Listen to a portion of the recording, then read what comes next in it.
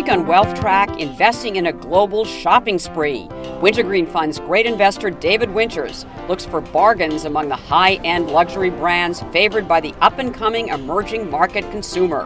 Where is he finding the most valuable jewels? That's next on Consuelo Mack Wealth Track.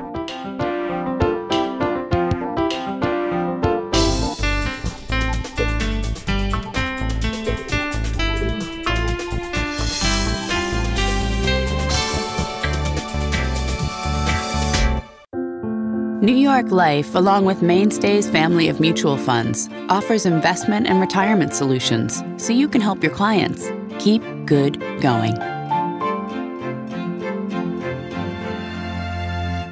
Additional funding provided by Loomis Sayles, investors seeking exceptional opportunities globally.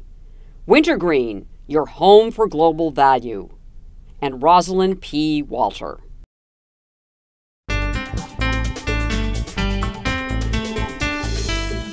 Hello and welcome to this edition of Wealth Track. I'm Consuelo Mack.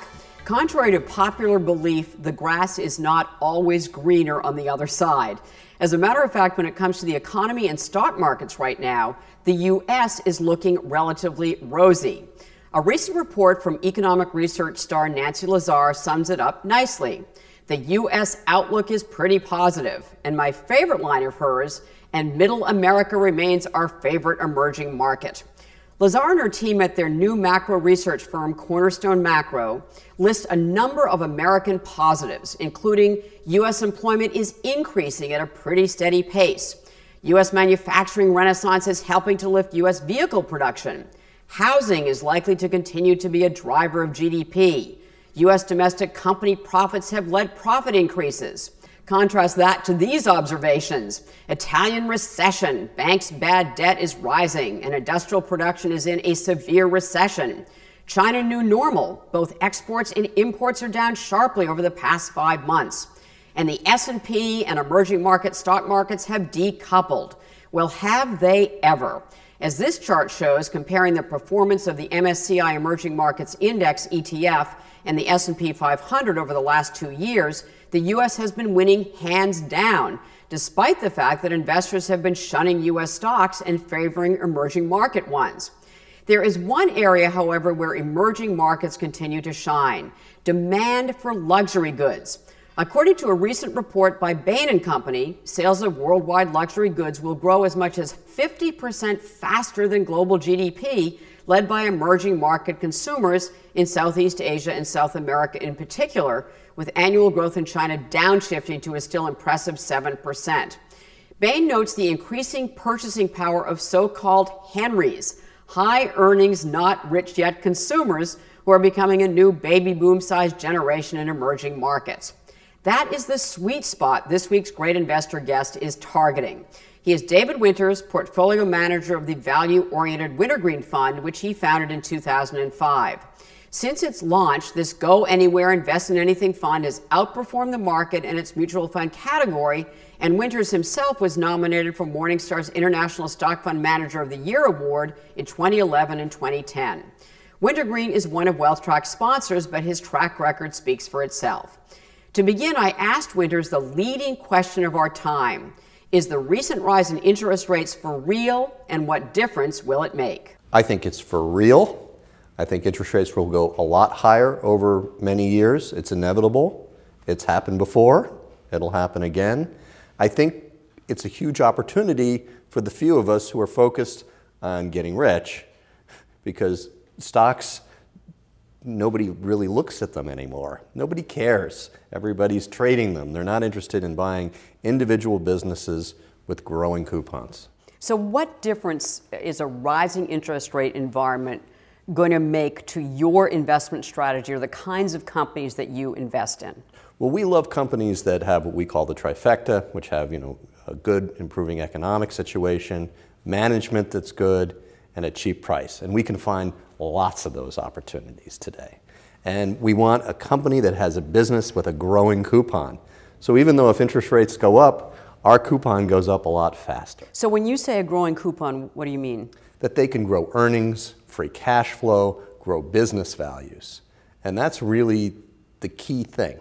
there are a number of people who are out there saying that, in fact, stocks are either fairly valued or they're getting expensive. What's your view in the universe that you're looking at?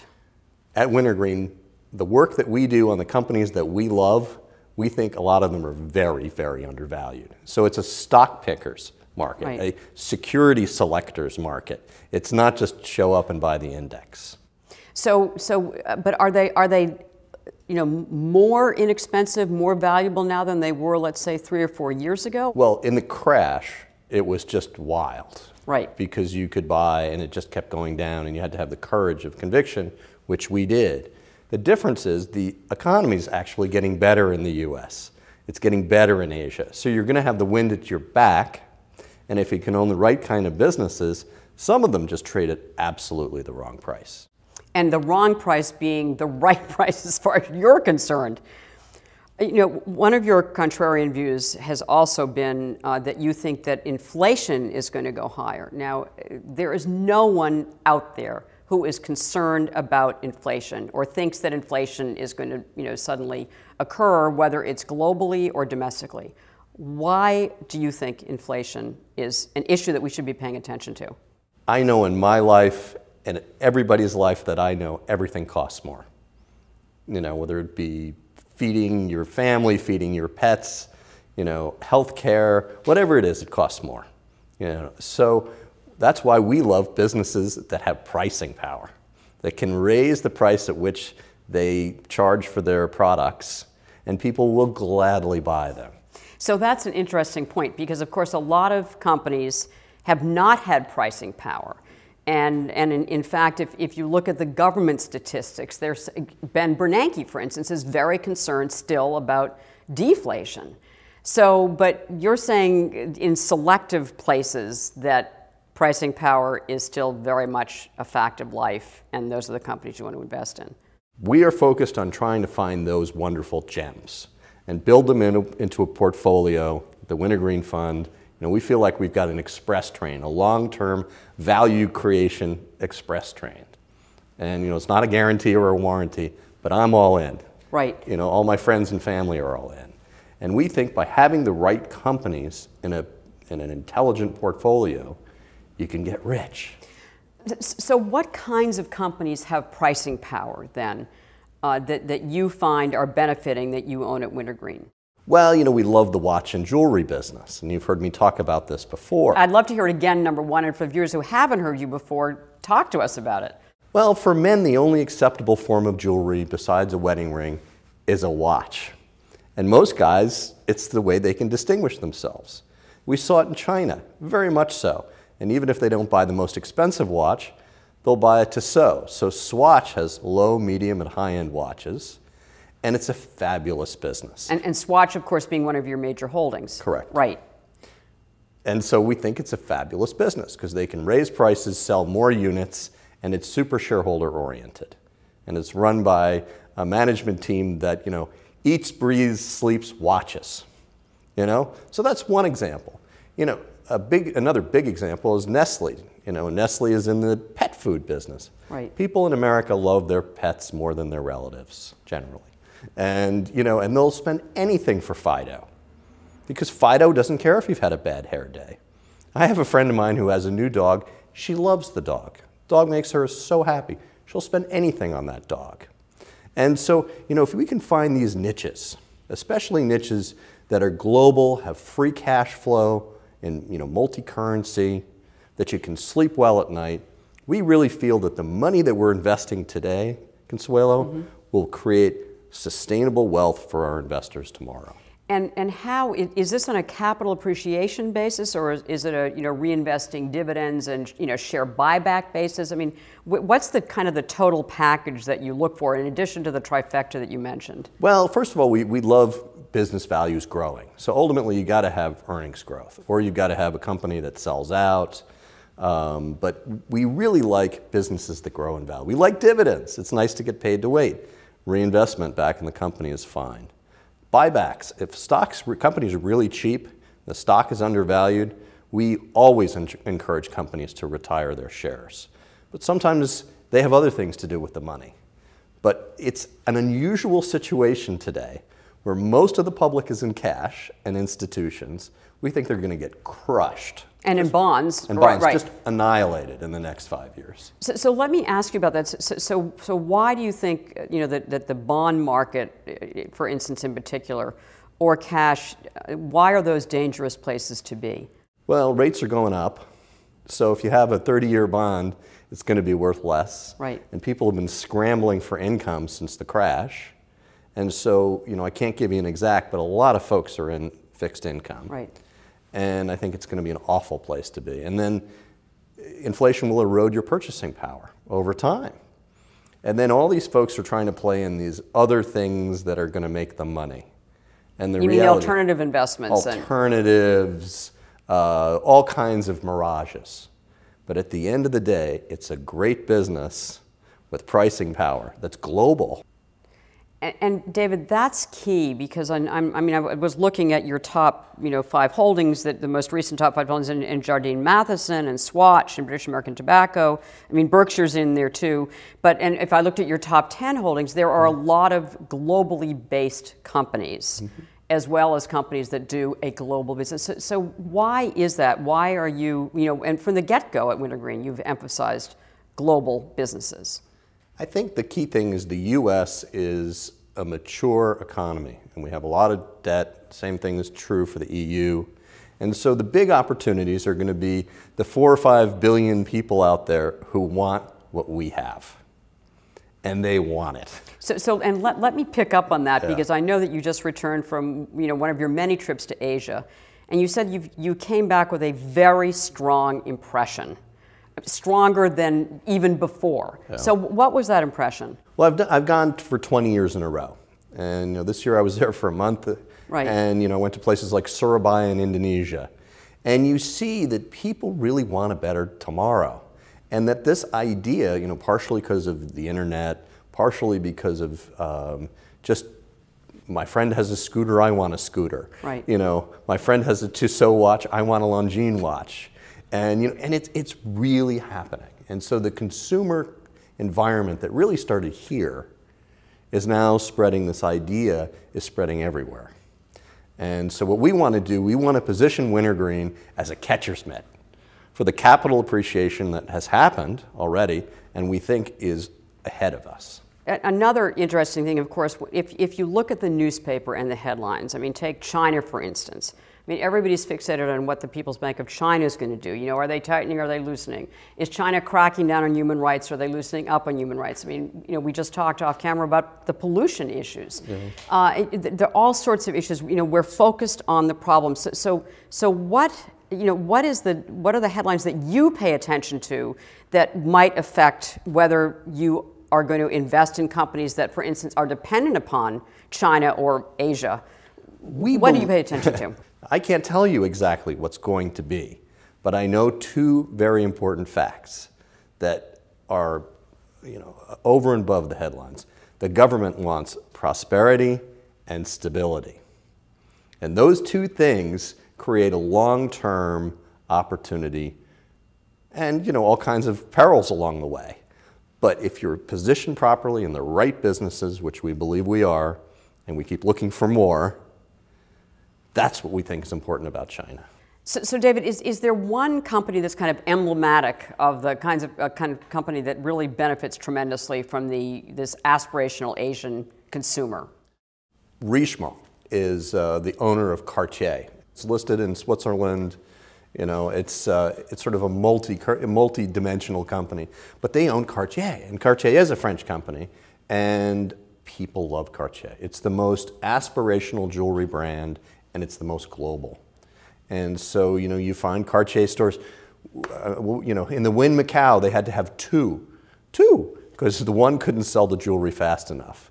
So, you know, we love businesses like that. We'll talk about Wynn Macau because that's also one of your holdings, and, it, and it's you know I, I know that, that you hold companies you know long term average holding period what is five years still forty five years. So, but Wynn Macau is is a, a company that uh, that you're I know you're very enthusiastic about. So, tell us about that story. Well, Macau is this enclave. It's a special administrative region.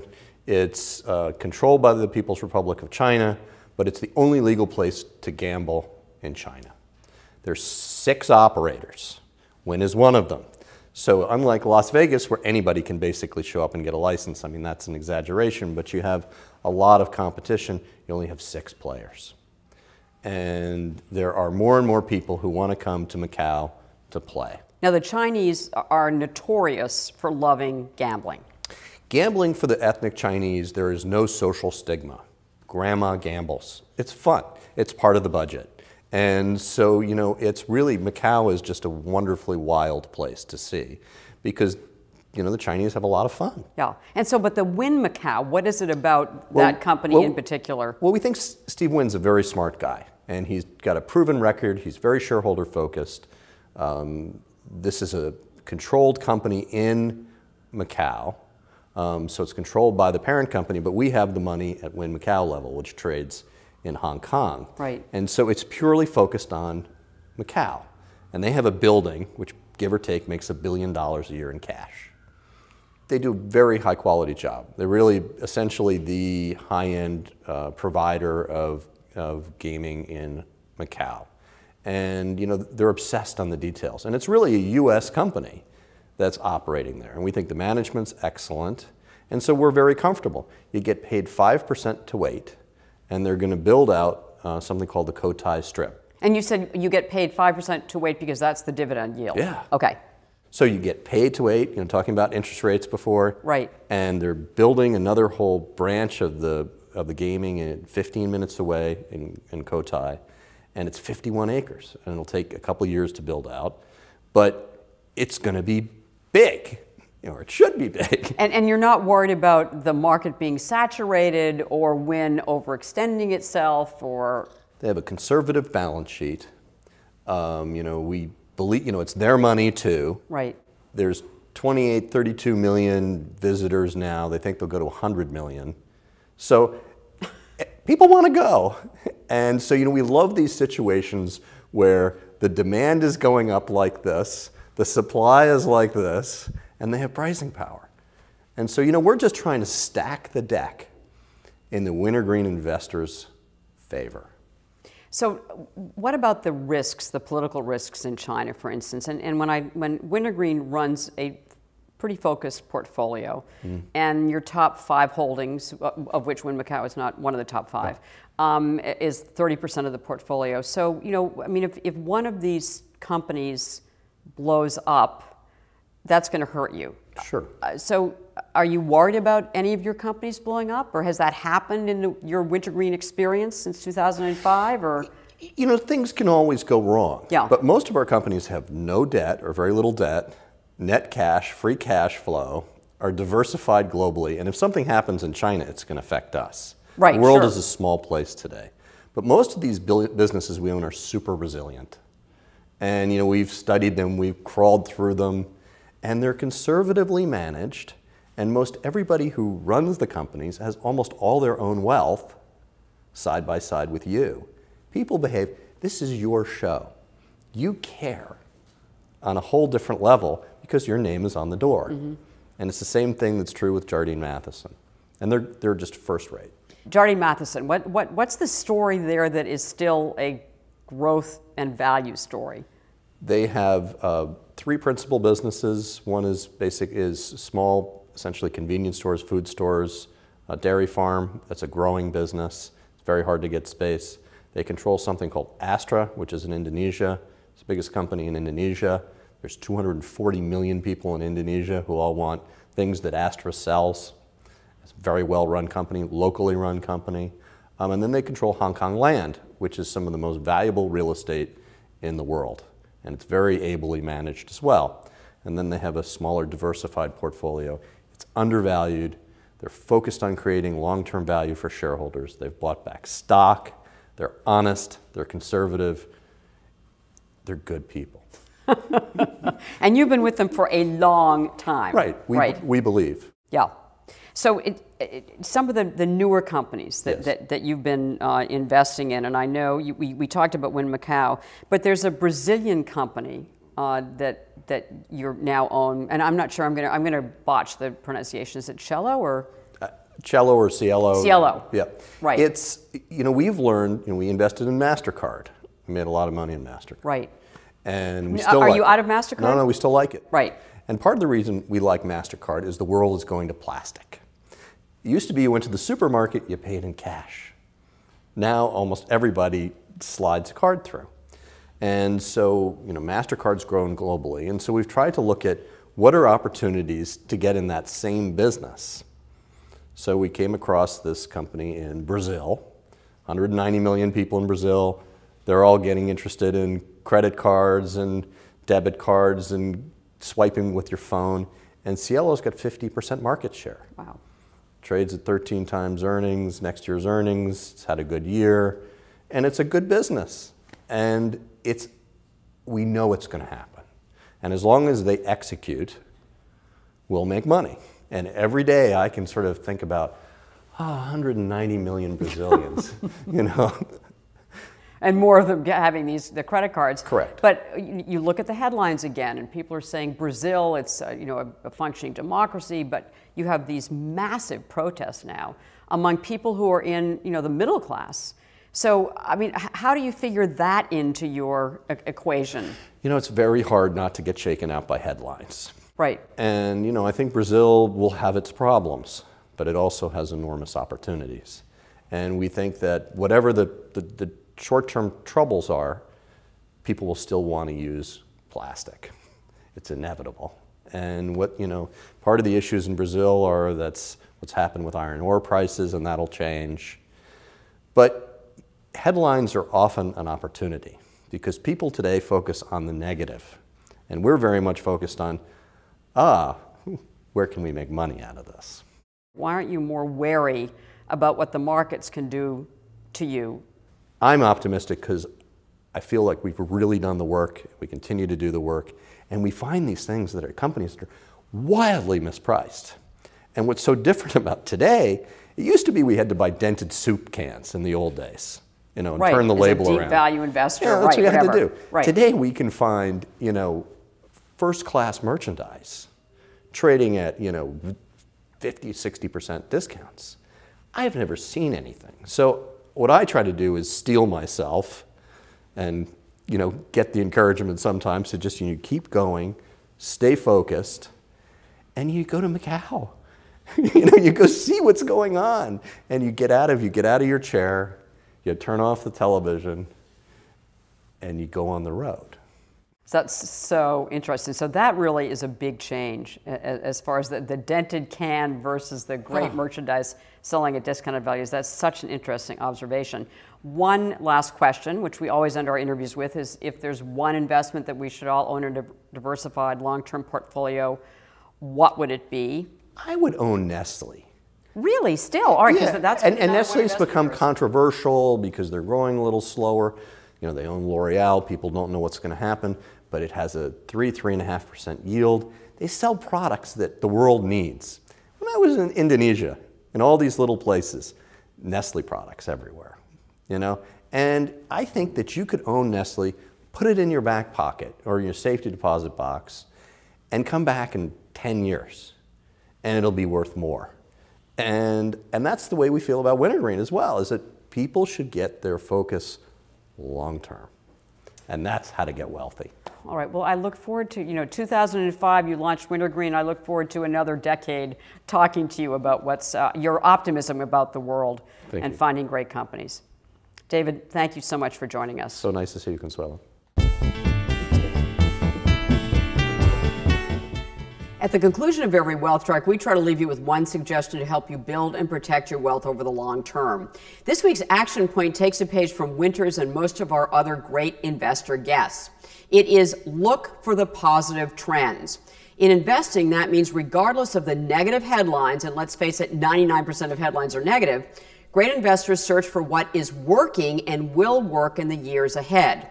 Winters focus on companies that cater to the aspirational consumers. The Henrys are high earnings, not rich yet populations in emerging markets who are working and spending toward a better life is a classic example. Well, next week we are exploring another universal goal for a financially secure retirement. We will discuss the need for a new retirement conversation and why insurance is going to be a key component with retirement pros Mary Beth Franklin and Kim Langford. If you have missed any of our past great investor or financial thought leader guests, you can find them on our website, wealthtrack.com, as well as additional interviews and information in our WealthTrack Extra feature. In the meantime, have a great weekend and make the week ahead a profitable and a productive one.